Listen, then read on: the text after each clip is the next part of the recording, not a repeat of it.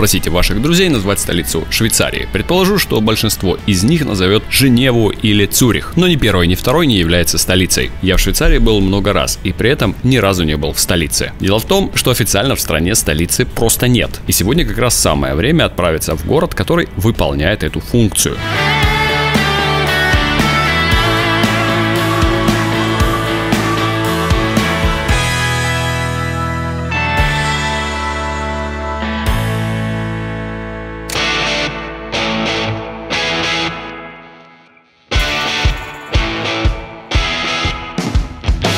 Берн пятый по величине швейцарский город. Является столицей только де-факто, то есть юридически это никак не подкреплено. Столицей же его называют чаще всего потому, что здесь находятся все важные структуры. Здания парламента, правительства и национальный банк. А также Берн считается первым населением, после которого и начала расширяться вся Швейцария. Название этого города впервые упоминается в 1208 году. Есть несколько версий о том, откуда оно пошло. Одна из легенд гласит, что название города пошло от первого убитого здесь зверя. И этим зверем Зверем, как несложно догадаться, был медведь. Созвучно с английским bear – медведь. Но это все догадки народа. Лингвисты же утверждают, что у данных слов абсолютно разные корни. Но при всем при этом символом города является мишка, и он же украшает герб. Кстати, встретить в Берне медведей в наши дни вполне реально. Они живут на дне рва в парке Беренграбен. Другая же версия, которая мне, кстати, больше нравится, гласит о том, что название города произошло от видоизмененного названия города Верона, так как бернская знать имела родственные связи с веронскими феодалами. Но наиболее вероятной считается версия о том, что название произошло от кельтского «брен», что значит «гора» или «брена», то есть «расщелина».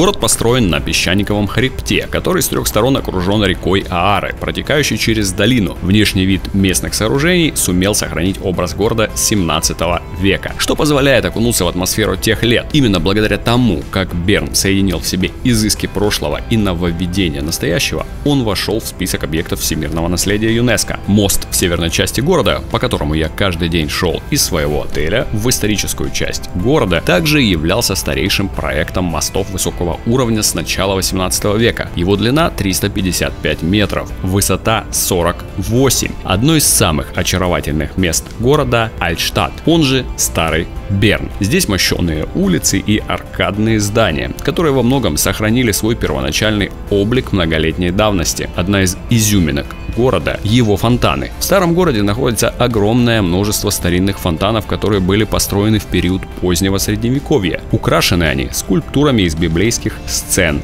и городских легенд. Всего в городе более 100 фонтанов. В Берне есть известный винный и кофе-бар Клостерли Вайн Кафе. Считается архитектурно значимым из-за сочетания сельских и городских стилей середины 18 века. Здесь предлагается ассортимент вин, которых более 100. А зная тот э, факт, что швейцарские вина производятся только для употребления его на территории страны, имеет смысл воспользоваться возможностью попробовать местные вина именно здесь, пока вы гуляете по городу. В самом сердце Берна находится одна из самых известных швейцарских достопримечательностей – часовая башня Цитглоге, представляющая собой постройку 13 века. Каждый час за несколько минут до того, как минутная стрелка сделает полный оборот, на часах начинает барабанить шут, а также включается музыка. Когда же минутная стрелка завершает круг, то появляется бог Кронос и медведи. И такой мини-спектакль происходит постоянно. Созданы эти часы были в 1530 году швейцарским мастером немецкого происхождения Каспаром Бруннером. А как известно, швейцарцы умеют изготавливать лучшие часы. Началось все с запрета Людовика XIV в 1541 году носить драгоценные металлы. Тогда в Женеве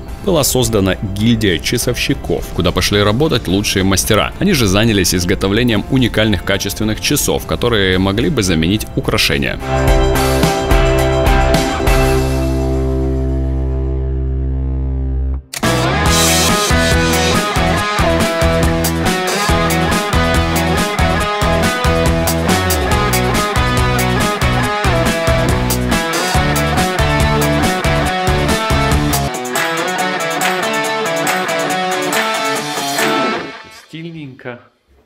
современненько. И вот это самое важное место. Вот в принципе мне кроме вот этого места больше, наверное, ничего не важно.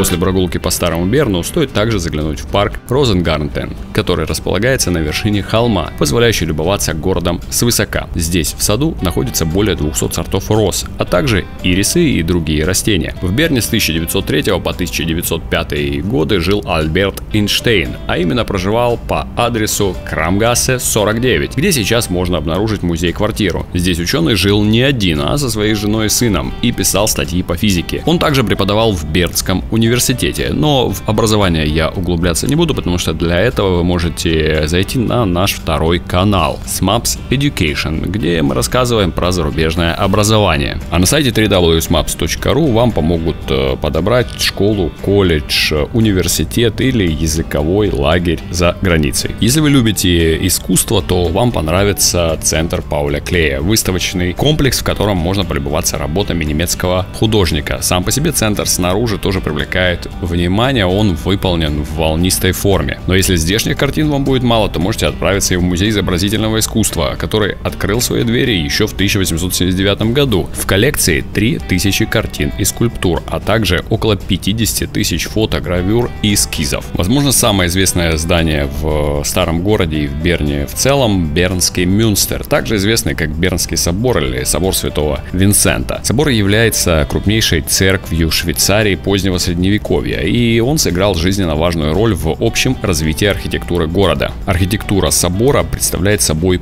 позднюю готику. В искусстве выделяют раннюю, зрелую и позднюю готику, или пламенеющую готику. Это особый период, когда архитекторы дошли до высшего уровня мастерства в деталях и декоре. Собор представляет собой трехнефную базилику с колоннами, которая строилась с 1421 по 1893 год, когда было завершено добавление восьмиугольной верхней части и ажурного шпиля. Обязательно обойдите собор со всех сторон. Его западная часть богато украшена скульптурой. Теперь же это копии. В тимпане изображен страшный суд, а на боковых стенах картины падения и благовещения. И здесь маленькая рекомендация. У Бернского собора находится терраса, вся засаженная деревьями. Отсюда открывается прекрасный вид на долину Аары. если вы сможете подняться по 250 54 ступеням башни, вид на город будет просто потрясающим. Еще одно здание, откуда открывается отличный вид – Бундесхаус или здание парламента. Оно также стоит на краю возвышенности над рекой Ааре. Само здание выполнено в стиле Ренессанс. Центральный блок с куполом содержит две палаты швейцарского парламента, места заседания Национального совета и Совета штатов. В восточном крыле и западном крыле находятся различные федеральные агентства и федеральная библиотека. Все это место открыто для посетителей. Доступ немного ограничен ограничен, когда парламент заседает. Вокруг площади расположены кафе, магазины и здания в стиле Ренессанс, а также музей банкнот. Сразу за ним находится маленький редут, популярная смотровая площадка в Берне с э, картой, на которой указаны важные места. Рядом с этим старым строением расположены сады и памятник Оскару Бидеру, совершившему первый полет над Альпами в 1913 году. В ролике я несколько раз упоминаю реку Ааре. Она является неотъемлемой частью Берна. Это кристально чистая бирюзовая вода сформирована формировала жизнь и ландшафт города. Река красива круглый год и притягивает местных и туристов. Как только температура повышается, местные начинают купаться в реке. На берегу также есть несколько открытых бассейнов. В Аре популярен э, рафтинг и гребля на каное. А посмотрев на город с э, воды под другим углом, вы получите невероятные впечатления.